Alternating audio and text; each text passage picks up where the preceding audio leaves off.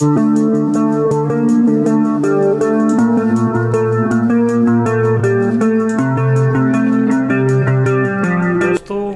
कैसे हो? स्वागत है मेरे चैनल पे फिर से सभी भाइयों का। और आज इस वीडियो में हम दिखाएँगे आपको गलता जी।